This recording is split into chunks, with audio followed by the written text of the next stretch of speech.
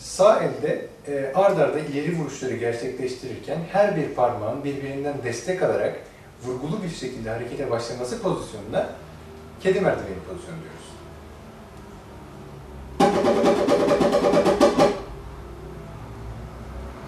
Parmaklar X parmağı A'nın, A M'nin, M de I üzerine yerleştirilmesiyle başlıyor. Ee, daha sonra tellerin üzerine X parmağımızdan başlamak kaydıyla sırasıyla fiske atmaya başlıyoruz. Ee, dikkat ederseniz duyum olarak e, daha vurgulu bir tını oluşacak. Bakın şöyle. X, A,